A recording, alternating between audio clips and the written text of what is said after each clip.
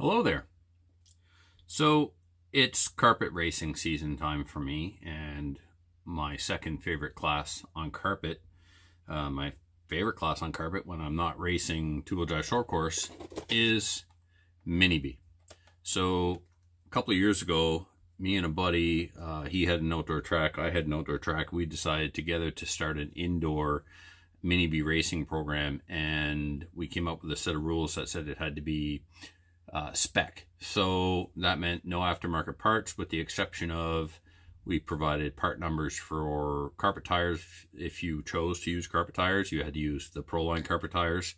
And um, the batteries aren't that great in these cars, so we provided uh, specs for aftermarket batteries if you chose to get aftermarket batteries. After that, you could set the car up, you know, for racing you weren't allowed to use aftermarket parts. So um, diffs, of course, need to be rebuilt and shocks need to be rebuilt. And that's what the purpose of today's video is. Somebody just asked me, shout out to William, hey man, since you're rebuilding those shocks, could you do a video on it? So here we are. I'm going to do a video on it.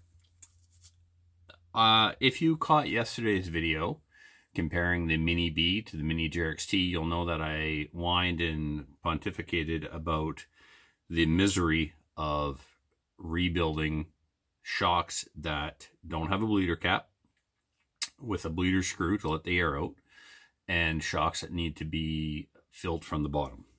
So in order to do this, you need a couple of tools. I would say three tools. One, shock pliers. Shock pliers are great because they are coated and you won't mar or scratch up your shock shafts if you hold the shock shaft with pliers to get the ball cup off the bottom, you can scratch up scratch up the shaft. If you scratch the shaft, it will nick the uh, rubber O-rings inside the cap and cause leaks. So you want a set of shock pliers. The shock pliers have multiple things in them to help you um, get the job done. One, they have a ball cap or a ball stud tool to pop ball studs out of uh, the ball cups. Um, these slots here are typically used for holding the shock body.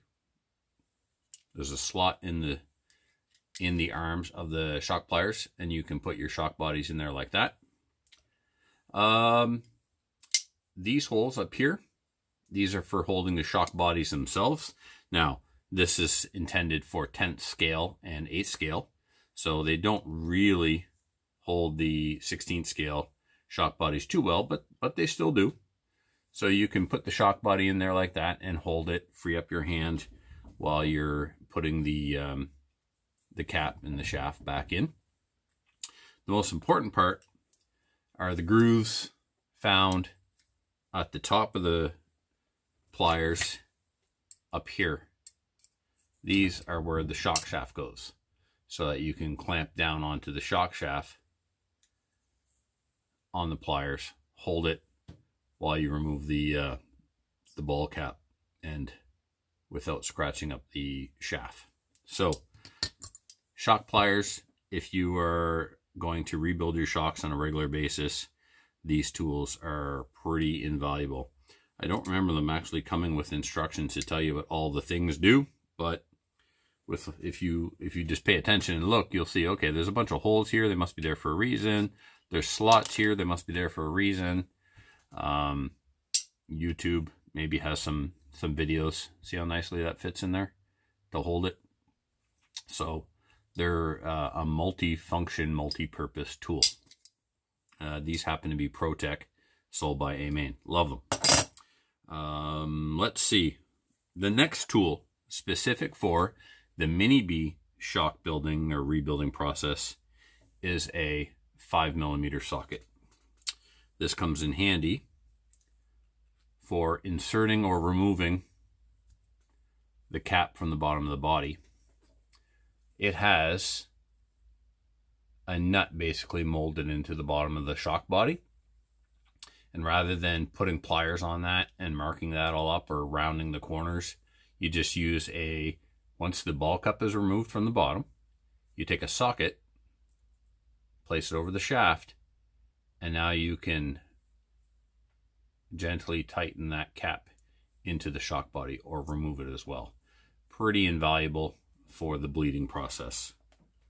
Third, and this is a tool not everyone possesses, and it's what makes this uh, process difficult and why I think most people don't bother doing it, and that is patience.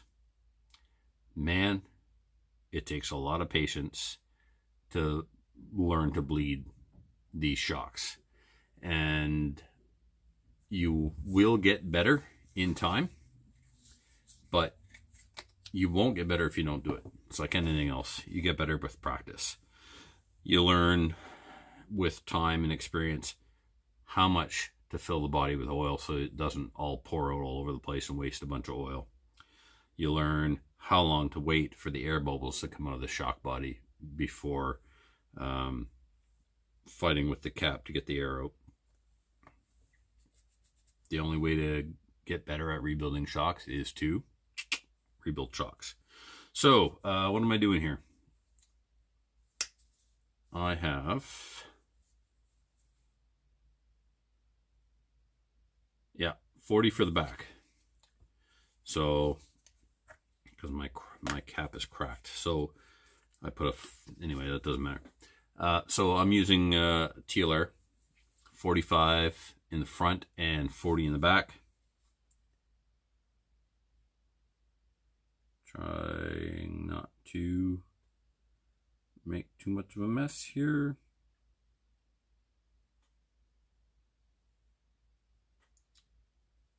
There we go. Made a mess. Come on.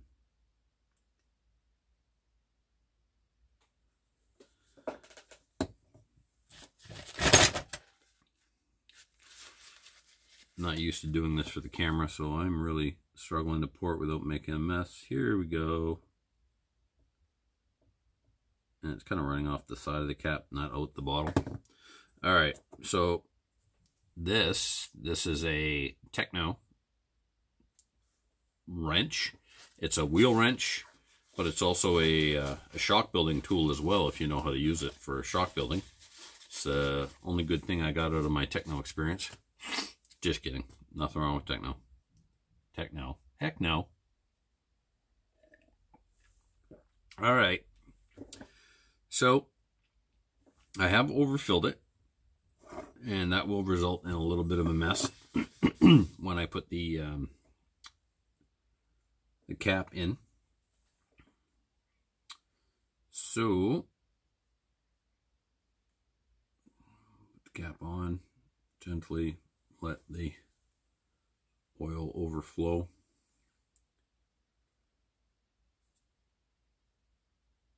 going to put it on just a couple of threads, just so it's held into the body of the shock. And then I'll start to work the piston up and down.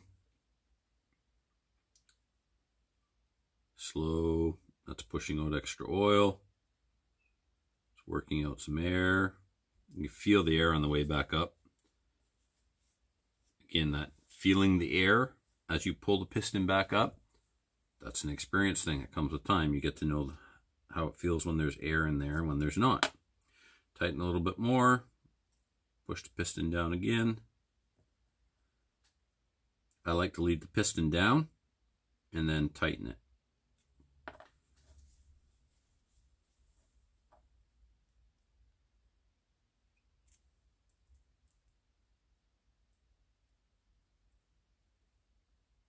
Okay it pushed the piston back to the, well, technically bottom, but since I'm holding it this way, the top. All right, so right now, the shock body is got air trapped in it because I cannot compress that shaft. So there's too much pack, there's too much air. I'm going to loosen the collar, or the insert, shock cartridge, technically. Just enough so I can start to compress that shaft.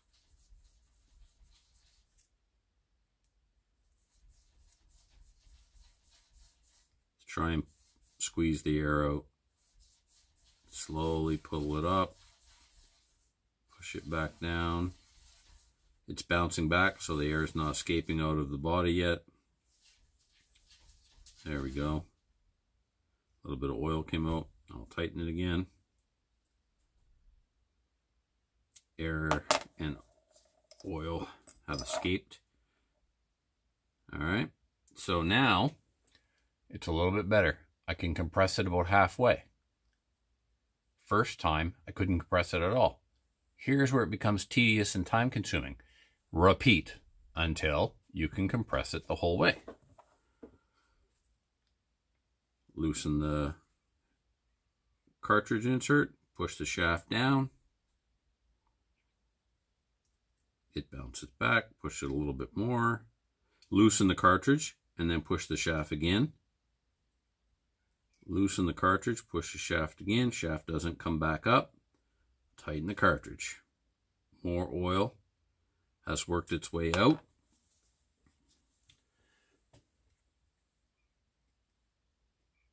Almost there.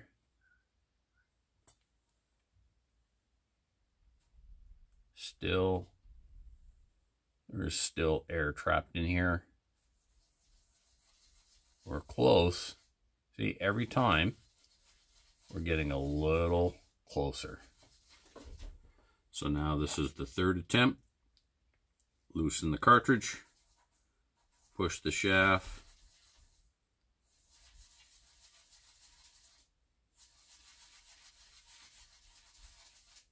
and tighten it again.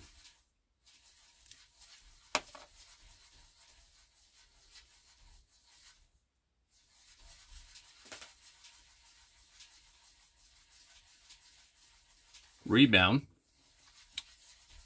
Some people set up for rebound. I don't because it's, for me, it's impossible to get them all to rebound the same.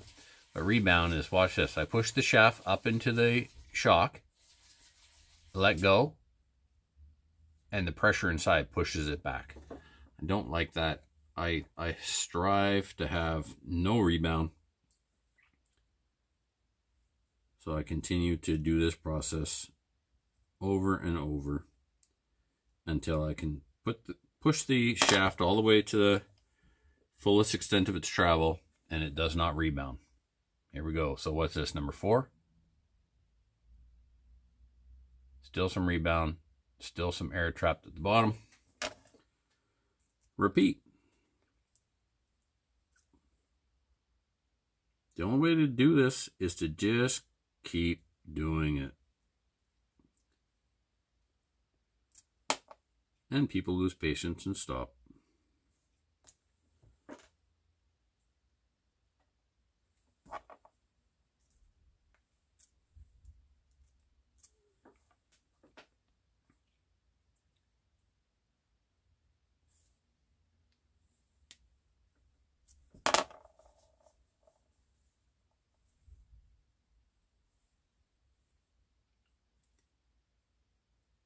There we go.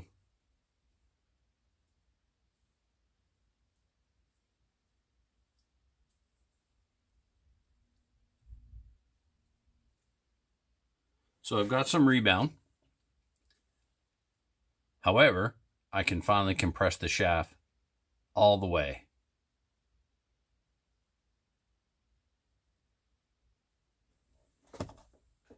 We're almost there.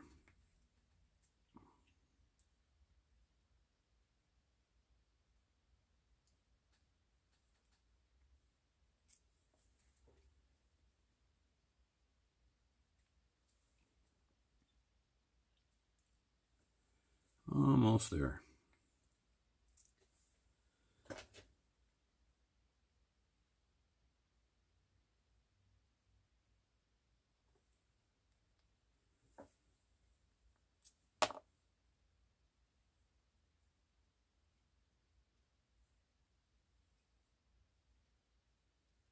Well, that might be good enough for the purposes of this video. I can now compress the shaft all the way further than it would actually go with the cup. And the spring cup and ball cup on there.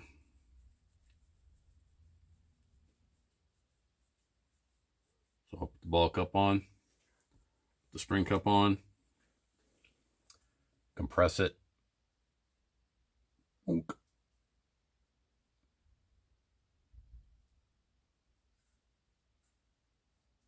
So, yeah, there's rebound. and may, I may live with that.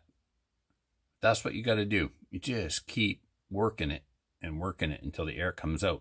And it takes, takes a while. It really does. But the more you do it, the more you understand it, the easier it gets. So just be patient, give it time, and you too can bleed bottom fill shocks with mediocre success like me. Thanks for watching, everybody. Bye for now.